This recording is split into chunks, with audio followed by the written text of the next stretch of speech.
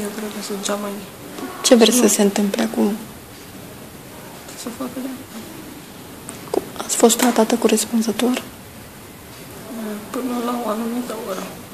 A venit cineva în salon toată noaptea? Nimeni, nici asistentă? Credeți că a fost o problemă de sănătate sau o culpă medicală? Altfel cu medicală.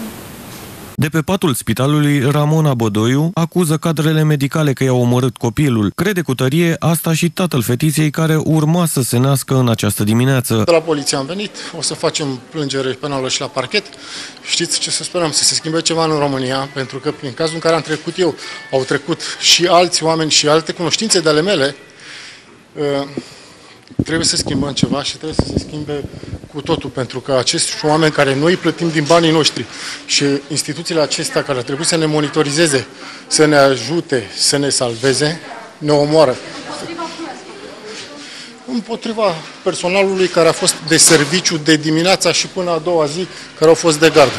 Ramona și Cosmin așteptau de 17 ani acest copil și fuseseră anunțați că astăzi vor fi părinți fericiți. Maria, fetița lor, urma să vină pe lume. Vă dați seama, am uh, 36 de ani, soția are tot 36 de ani, era primul copil. Foarte mult. Ați făcut, ați cumpărat acasă.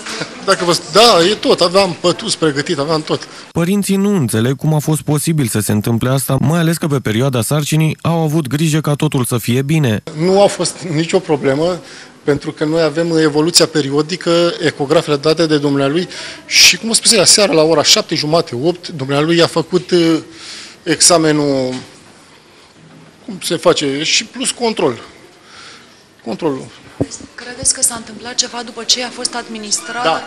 Deci, după ce s-a administrat ieri până în ora 12 acea fiolă de sulfat de magneziu pe care domnul doctor de gardă, dacă nu mă șel, Cheznoiu, uh, ne-a dat prescripția pe care o și lăsai la poliție, acea nu trebuia făcută soția, spunându-mi, printre altele, spre dimineața când eu ajuns ei, nefiind în stare de 100% refăcută, că la un moment dat, când a ajuns și uitase ceva în sala de travaliu, două doamne asistente vorbeau între ele că nu trebuia făcută acea fiolă de sulfat de magneziu, care nu mai este în uz, în uz am înțeles, de 5-6 ani.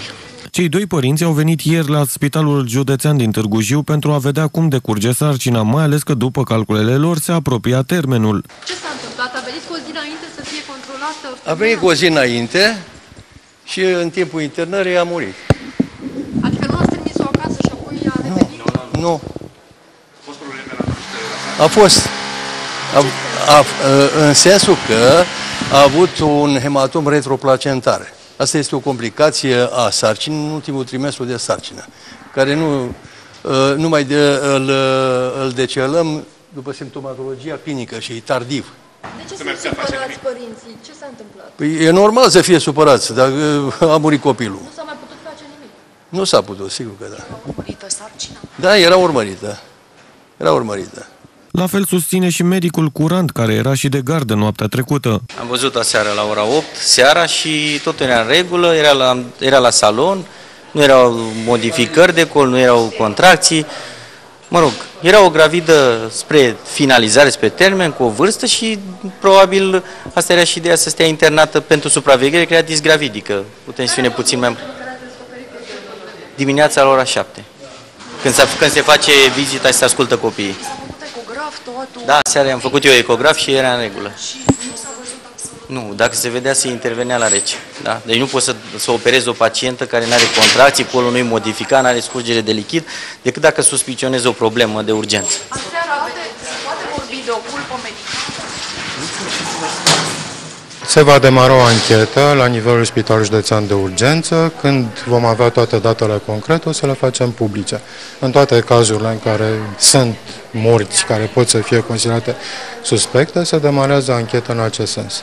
Putem să înaintăm către Colegiul Medicilor pentru Comisia de Etică a Spitalului Județean de Urgență, pentru mai multe comisii care își desfășoară activitatea atât la nivelul județului, organizații uh, profesionale ale medicilor sau organizații tot ale cadrelor medico-sanitare care își desfășoară activitatea în cadrul Spitalului Județean de Urgență unde s-a produs acest eveniment.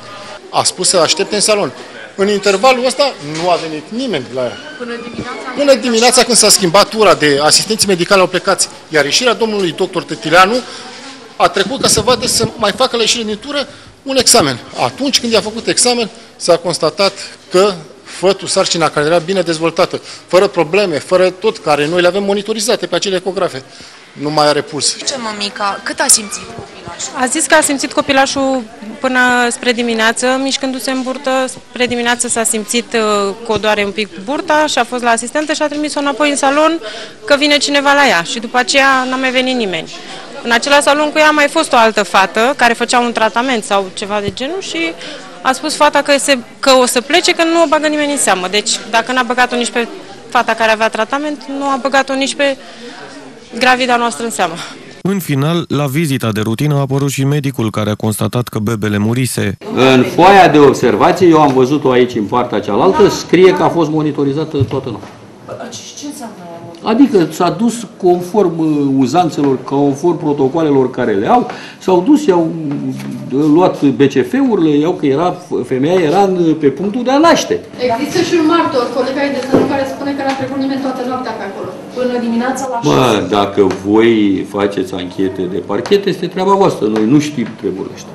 S-ar putea, în, în anchetele care o să se facă, dacă să fac, o să se stabilească dacă e așa sau nu. Rudele tinerei au depus plângere la poliție și colegiul medicilor. Ramona și Cosmin sunt juriști și lucrează la o companie din Târgu Jiu. Așteptau acest copil de 17 ani. Anul trecut, când au aflat că vor fi părinți, cei doi au făcut și nunta și se pregăteau să devină o familie fericită.